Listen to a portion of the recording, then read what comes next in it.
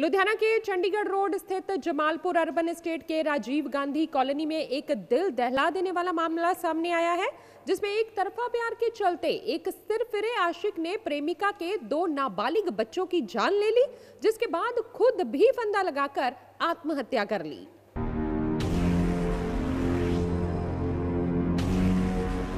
इस संबंधी जानकारी देते हुए पीड़ित नव विवाहिता ने बताया कि पास के साथ के क्वार्टर में रहने वाला नौजवान उसे रोज़ाना तंग परेशान करता था और शादी के लिए मजबूर करता था। उसने कई बार विरोध किया और मकान मालिक को भी इस बारे में बताया।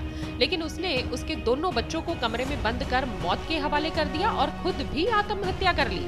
वहीं एसीपी रुपिंदर कौर सराह ने कहा कि इस हत्या में एक तरफा प्यार का मामला सामने आया है, जिसको लेकर गहनता से जाँच पड़ताल की जा रही है। जाँच के बाद बनती कार्रवाई की जाएगी। लुधियाना से हलचल के लिए अरुण की रिपोर्ट।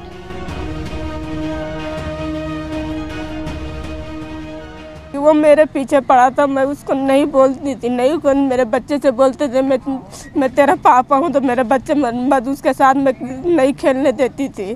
तो मेरे साल भर से मेरे पीछे पड़ा था, पूरा बेड़ा भर आदमी जानता था।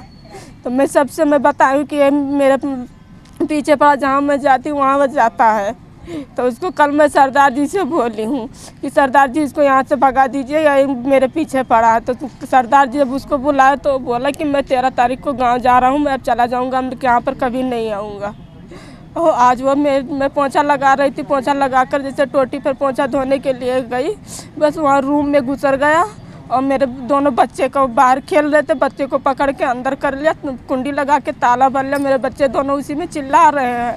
तो मैं वहाँ से दौड़ी, आई, मैं पूछी, क्या हुआ? तो बोला कि, मम्मी, सिलेंडर रूम में घुसर आया है। तो मैं बोली दरवाज़ा खोल सारे आदमी जुट गए मेरे का दरवाज़ा नहीं खोला और वो मेरे बच्चे को चाकू लेकर गटाई दोनों की गर्दन काट दिए अपना भी ऊपर पंखा में लटक गया ਜੀ Rajiv Gandhi colony police station focal point ਦਾ ਇਨਸੀਡੈਂਟ ਹੈਗਾ ਸ਼ੈਲੇਂਦਰ ਨਾਮ ਦੇ ਵਿਅਕਤੀ ਨੇ ਦੋ ਬੱਚਿਆਂ ਦਾ ਮਰਡਰ ਕਰਕੇ ਖੁਦ ਸੁਸਾਈਡ ਕੀਤਾ मैम वेपन की यूज़ किया जी उन्हें ਸ਼ਾਰਪ ਐਜ ਵੈਪਨ ਸੀ ਜੀ कुछ कारण की सामने आई थी जी ਪ੍ਰੀਲਿਮਿਨਰੀ ਇਨਵੈਸਟੀਗੇਸ਼ਨ ਦੌਰਾਨ ਇਹੀ ਸਾਹਮਣੇ ਆਇਆ ਕਿ ਬੱਚਿਆਂ ਦੀ ਮਦਰ ਨੂੰ ਸਟਾਪ ਕਰਦਾ ਸੀ। ਤਾਂ ਕੱਲ ਇਹਨਾਂ ਨੇ ਜੋ ਇਹਨਾਂ ਦਾ ਵਿਹੜੇ ਦਾ ਮਾਲਕ ਸੀ, ਉਹਦੇ ਨਾਲ ਇੰਟਰਨਲੀ ਕੋਈ ਗੱਲਬਾਤ ਕੀਤੀ ਸੀ ਰਿਗਾਰਡਿੰਗ